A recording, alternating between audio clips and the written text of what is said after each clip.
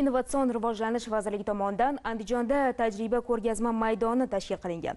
Unda kosmetologiya farmatsevtika sohalari uchun ahamiyatli noyob 10 turdan ortiq o'simliklar yetishtirilmoqda. Kambag'allikni qisqartirish borasida andijon tajribasiga aylangan mazkur loyiha avvalo ilm fan yutuqlari innovatsion ishlanmalarni xalq turmushiga olib kirish ularning daromadini oshirishga xizmat qilmoqda. Hamkasbimiz gulnoza olimova plantatsiyada bo'lib qaytdi.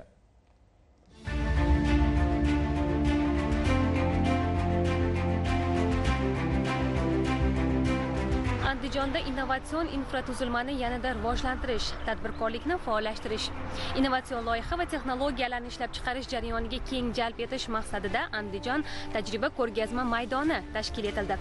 Ayni paytda to'qqiz gektarli mana bu maydonda dorivor o'simliklar yetishtirilmoqda. Xo'sh ular sanoatning qaysi turini rivojlantirishda foydali? Daromadi qanday? Bu haqda hozir mutaxassis fikrini tinglaymiz. Jamoamizga ajratilgan sakkiz gektar yerda o'nga yaqin dorivor o'simliklarni yetishtirishni boshladik. Bulardan to'rt xil navdagi amarant o'simligi e, buni asl vatani janubiy amerika e, xelba o'simligi shakardan o'ttiz marta kuchliroq steviya o'simligi va jigar kasalligida keng foydalanadigan rassorobsha o'simligi. Bu yil ayniqsa amarantdan har bir gektardan ikki tonnadan don mahsulot olmoqchimiz va uni qaytadan ishlamoqchimiz. Xalq salomatligini saqlash va xalq salomatligini tiklash. Mana sohada keng qo'llanyapti andijonlik olimlar tomonidan ozuqadorligi makkajo'xoridan 5-6 barobar yuqori bo'lgan moyi dorivor hisoblanadigan amarant o'simligining marhamat ulug'nor andijon hamda o'zbekiston m kabi yuqori hosildor yangi navlari yaratilib ko'chatzorlari tashkil qilindi. Maydonda yetishtirilayotgan har bir o'simlikning foydasi katta. Masalan rastaropsha. Gektardan bir yarim ikki tonnagacha don olinadi. Tarkibida silimarin moddasi mavjud. Doni hozirda o'zbekiston bozorida kilogrammi ellik ming so'm demakki gektardan yuz million so'mdan ortiq daromad olish mumkin. Stevia o'simligining asosiy mahsuloti bargi qandli diabet kasalligini davolashda qo'l keladi. Immun tizimini mustahkamlaydi. Gektaridan bir yarim ikki tonna shifobaxsh barg olish mumkin. Uning jahon bozoridagi narxi olti o'n aqsh dollarini tashkil etadi. Yiliga yuz million sof foyda olish mumkin.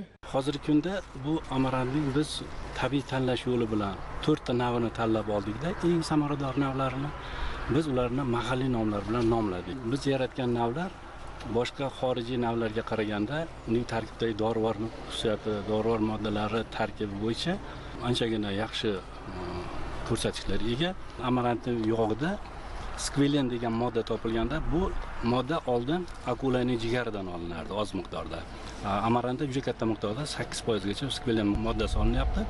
Bu modda farmatsevtika judayam noyob modda bo'lib qator kasalliklar qand kasalligi yurak yetishmovchiligi ayollar kasalligi qon bosimini me'yorlashtirish e, immunitetni kuchaytirish kasalliklarda keng foydalanyapti eyxorniya o'simligi poyasini achitish yo'li orqali esa biogaz hosil qilinadi. Suvni tozalaydi. Poyasi baliqchilik va parrandachilikda oqsilga boy ozuqa sanaladi. Ekin maydonida dorivor o'simliklar turlarini ko'paytirish va aholi tomorqalariga ko'chat yetkazib berish ham yo'lga qo'yilmoqda. Ayni paytda asaka tumanidagi uchta xonadonda seviya o'simligi parvarishi boshlandi. Biz tajriba uchastka maydonimizda shifobaxsh TV o'simligini vegetativ usulda ko'paytirish texnologiyasini o'zlashtirdik. Bir haftalik ko'chatlarimiz bor o'n besh kunlik ko'chatlarimiz yigirma kunlik va bir oylik ko'chatlarimiz bor. Bir oyda ekish dala maydonlariga ekishga tayyor bo'ladi bu ko'chatimiz. Bu bizni ishimizga e, uy bekalarini ham jalb qildik. E, bizni asosiy maqsadimiz farzandlar tarbiyasi uy yumushlaridan ajralmagan holatda oila bekalari bo'sh turgan tomorqalardan unumli foydalanishni yo'lga qo'ydik. Bu bilan biz xotin qizlarni bandligini ta'minlash maqsadida e, oila byudjetiga ham ancha daromad keladi. Tajriba maydoni shuningdek ilm ta'lim va ishlab chiqarish o'rtasidagi integratsiya vazifasini ham o'tamoqda. Qayta ishlashni yo'lga qo'yish maqsadida dala maydonining yonida bir gektar yer maydoni ajratilgan bo'lib bu yerda hozir qurilish ishlari davom etmoqda va avgust oyida qurilish ishlari yakuniga yetgach bir yuz ellikdan ortiq ish o'rni yaratiladi. Qolaversa dala maydonida yetishtirilayotgan e, dorivor o'simliklar aynan shu joyda qayta ishlanib eksport qilinadi hamda mahalliy bozorlarga yo'naltiriladi.